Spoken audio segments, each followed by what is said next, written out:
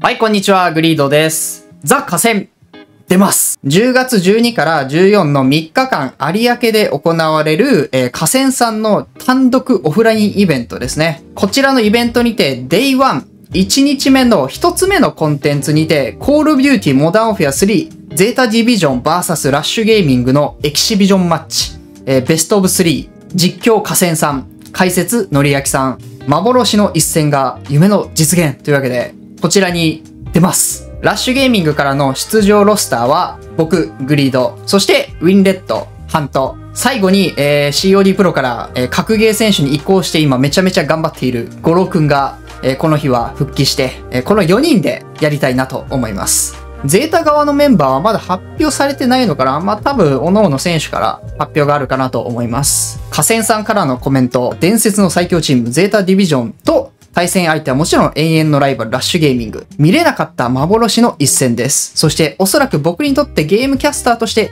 最後の活動になると思います。お楽しみに。はい、というわけで、一体いつぶりの Call of Duty のオフラインイベントでしょうかね。まあ、海外のね、こう、先行プレイとか大きいイベントはあったんだけど、まあ、日本でっていうのはね、えー何年ぶり？え、最後が、え、いつだろう？コロナで、そう、コールオブデューティーの競技シーン、日本に関してはコロナで大会がなくなったりとかで、かなり、そこからずっとオフラインイベントもなくて、だから5年、え、5年ぐらいするかなもしかして。それぐらい経ってるのかな？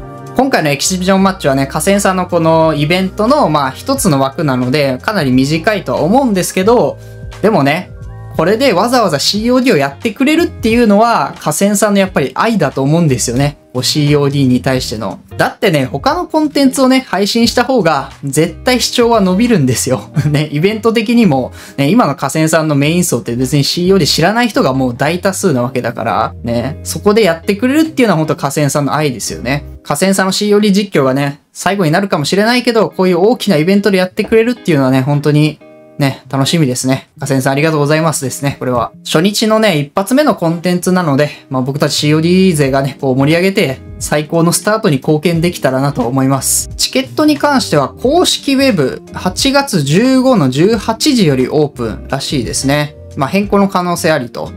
まあね、多分ね、相当、チケットの倍率は、えぐいことになると思うんで、皆さん、まあ、来たい方はね、頑張ってください。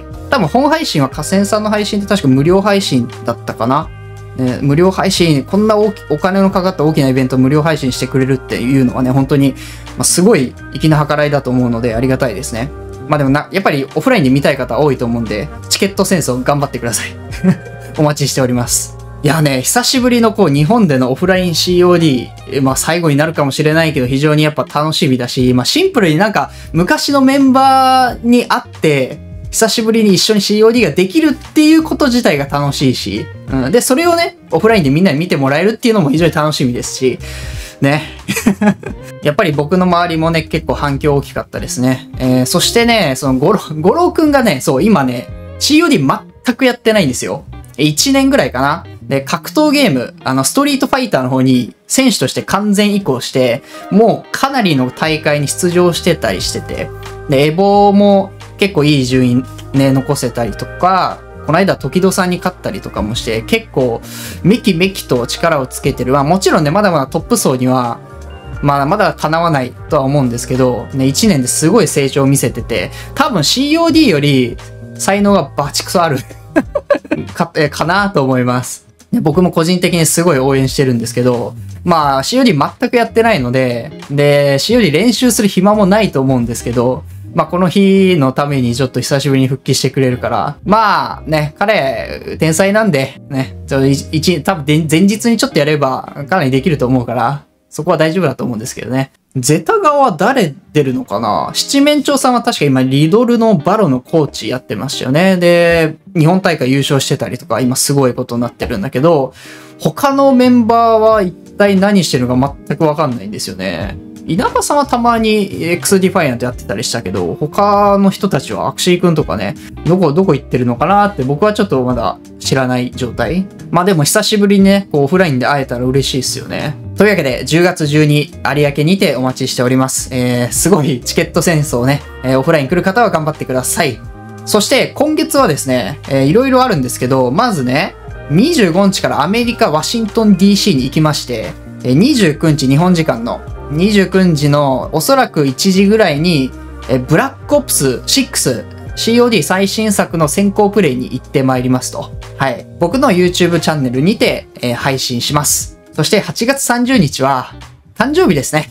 誕生日誕生日なんですけど、えーっとですね、今年29になります。おかげさまで。はい。ね、あの、昔見てくれてた方はびっくりするかなと思うんですけどね、もう30手前になりますね。はい。自分自身、まあ、年取ったなって感じは、まあ、どうなんだろうね。うん、顔は老けたなって感じはします。うん、正直。まあ、ゲームプレイとかに関しては全然衰えとかはもちろんないんですけど、うん、やっぱ顔は老けたなっていう。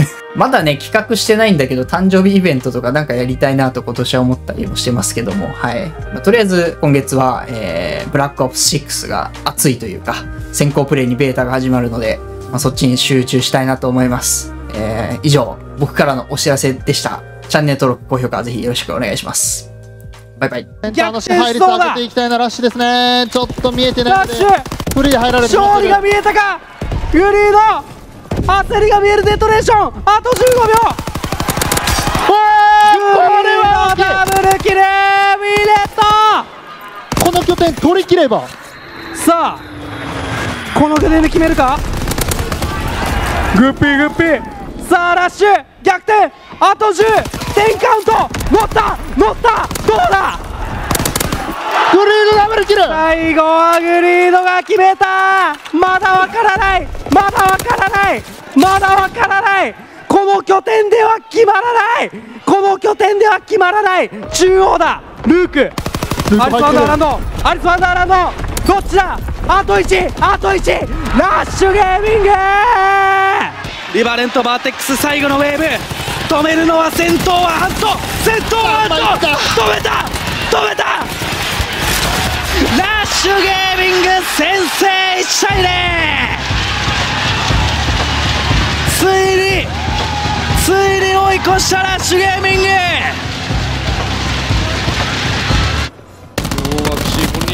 おおやりきった。強い。一枚うわーもう見えてる。今度こそ今度こそ決めたアクシー3枚ダウンアクシーが5連続キル。最終ラウンドはトリプルキル。なんと15キルで決めましたアクシーうわーとこれこれツーこれ別あ気づいてない。入れ違った。入れ違った。これ1キルフリーで取られますよリバレント。なぜ裏にグリードがこの立ち回り大人になった俺を見てくれ。やっぱ前と後ろ両方見ないといけないか。これはこれはでかい。どちらにとっても大きすぎるラウンドだ Oh my god! Oh my god! Oh my god! えいらいらいらいらいらいらいら何いらんな何が何があったのやめてもらっていいいらなかった4人いらなかった